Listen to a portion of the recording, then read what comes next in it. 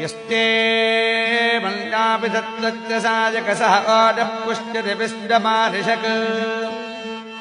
साह्यापदा समार्यन्तयाजुना सहस्रतेन सहसा सहस्तता मन्युरिन्द्रा मन्युरेपासदेवो मन्युर्होता वरुणो जातवेदा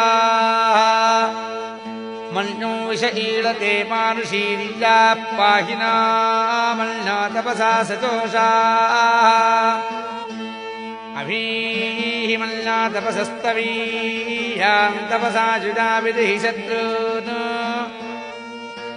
अमित्रः वृत्रः दस्युहादविश्वापशून्यापरात्तन्नः संहिमल्या अभिभूत्योजास्तजम्भोर्भामा अभिमादिशः विश्वदर्शनिः सहुरिः सह वानस्मास्कोजः पृतनासुधेहि अभागस्तन्नभपरेतो अस्मितभक्रत्वादभिषश्च प्रदेतः तन्त्वामन्नाक्रतुजैलाहम् स्वातनोर्बलदेयाय मेघी अयन्ते अस्मृपमे किर्वान् प्रतीतीतस्तहुरे विस्तधायः मन्या वज्रन्नभिमामाववृत्स्वहनावदस्सु हृदपाध्यापे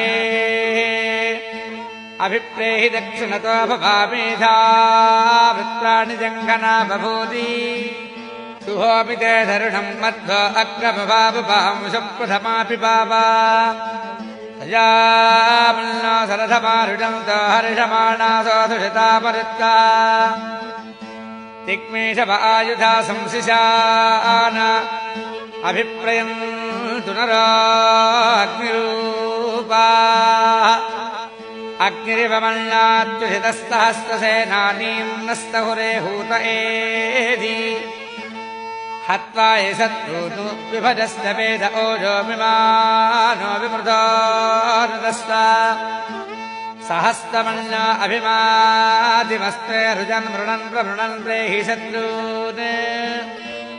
उग्रन्ते पाजानन्वारुरुद्रे वशीवसंनयस एकजत्वम् एको बहूनामशिमल्लवीलिता विषम् विषम्।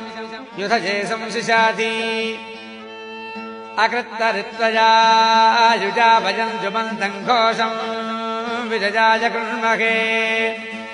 विदेशकृन्द्रैवानवभ्रवो ओस्माकम् मल्ला अधिपा भवेखा प्रियन्ते नाम सहुरे गृणीमसि विद्वासमुत्सङ्गता बभूथा सहजावज्ञसायकसः विभस्य बभूतमुत्तरम् कृत्वा नामल्ला सह मेत्येधिमहाधनश्च पुरुहूत। संसृजी। संसृष्टम् धनमुभयम् समाकृतमस्मभ्यम् दत्ताम् वरुणश्च मण्युः द्विषम् दधा नाहृदेषु शत्रवः पराजितासो अपनिलयन्ताम्